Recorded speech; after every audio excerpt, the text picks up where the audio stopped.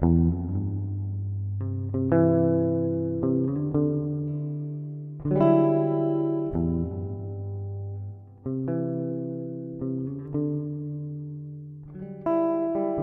Javier Eispurba, impresor, editor, hacedor de libros.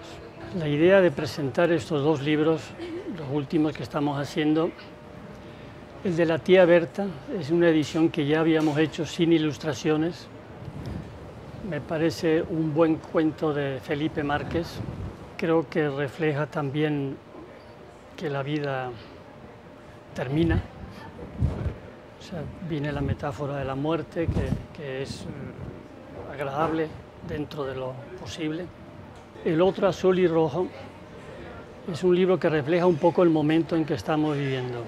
Explica un poco lo que hay que hacer para, primero, de enseñar lo que está pasando y un poco para eh, enseñar cómo se solucionaría. Lo que está pasando aquí es un diálogo de sordos. Todos hablan, nadie escucha.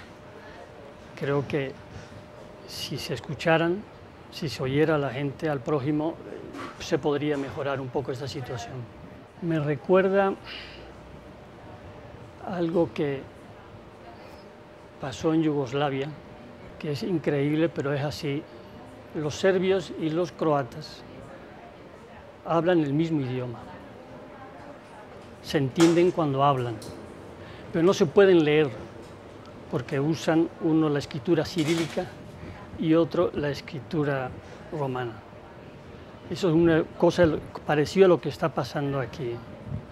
Eh, el gobierno está hablando una cosa, la oposición no le entiende, la oposición habla una cosa, el gobierno no le entiende.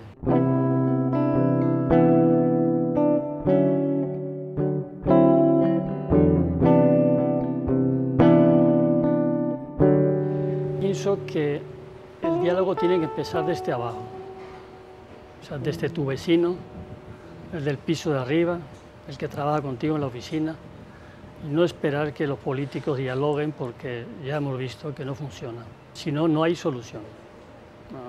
Diálogo no quiere decir claudicar uno ante el otro, eso es importante decirlo. Bueno, aparte de azul y rojo, por supuesto, yo diría, para los niños, Rebelión en la Granja. Para los adultos, 1984. Y me gustaría que todos vieran El Gran Dictador.